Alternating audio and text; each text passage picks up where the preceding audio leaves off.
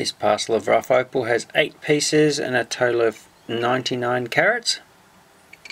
And you can see a nice stone in that one, kind of a dark crystal.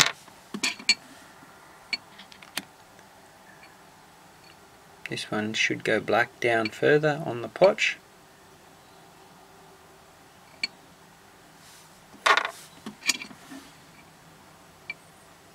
Nice colour bar going through it. I think this one has a black kernel in the centre from memory.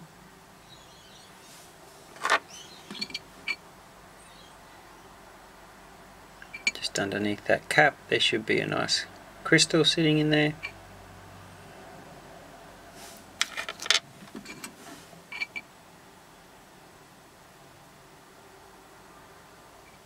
Little blue sitting there. A larger piece. Should be able to get something out, if not carve it.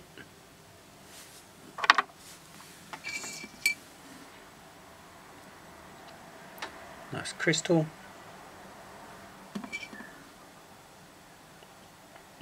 And a black or dark crystal.